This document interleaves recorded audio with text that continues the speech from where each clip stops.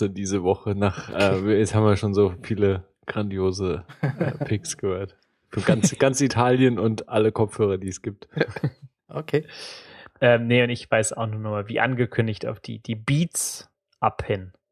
Ähm, weil es jetzt zur Sen- Sendung passt und weil es irgendwann mal äh, fallen muss. Also ich bin echt ähm, ziemlich begeistert von diesem Streaming-Service, den man sich auch aus Deutschland klicken kann. Ähm, wenn du dich entsprechend erst einmalig mit irgendwie, mit deinen, weißt du, versteckst, woher du kommst, ähm, IP-Adressen, was man da heutzutage verwendet, äh, dich einloggst und dir einen Account klickst und äh, was man also tun muss, wenn man für Sachen bezahlen müsste, ne? Also dann, dann musst du halt dich, das, das musst dich als Amerikaner ausgeben und dann kannst du aber deine Kreditkarte hinterlegen und ähm, die Integration bei der Beats-Geschichte funktioniert auch mit dem Sonos-System, also das ist ähm, gleich von Anfang an funktionabel und aber die die iOS-App, äh, die ich auch schon mal im Blog hatte, die ist schon echt gut. Also gerade diese Features mit ähm, bilde einen Satz, ähm, ich das ist ziemlich schwierig in die Kamera zu halten, aber ähm, es gibt diverse Videos im Internet, das mal sich anzuschauen. Man kann halt nach Aktivität oder nach Genre oder halt nach diesem Satzkonzept das ähm, strukturieren. Ich finde halt die Musikauswahl echt gut. Also für mich ist es im Moment echt der beste Streaming-Service.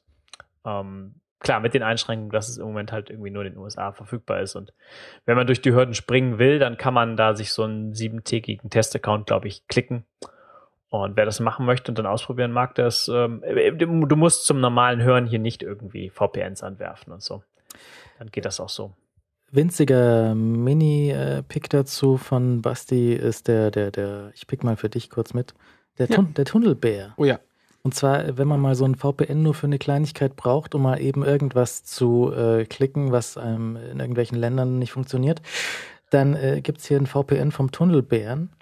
Und du kannst dir das Land aussuchen, du kannst den an- und ausklicken, du musst nicht mit der System-VPN-Einstellung rumdingsen. Kannst du aber? Kannst du aber, musst du aber nicht. Und du kriegst sowas wie 500 Megabyte im Monat gratis. Und wenn du nochmal twitterst, kriegst du nochmal ein Gigabyte drauf. Genau. Und wenn du, äh, das kannst du jeden Monat einmal twittern, dann kriegst du das Dings drauf. Oder du zahlst halt, was kostet das, wenn du mehr glaub, möchtest? fünf, fünf oder drei oder fünf Steine irgendwie im Monat.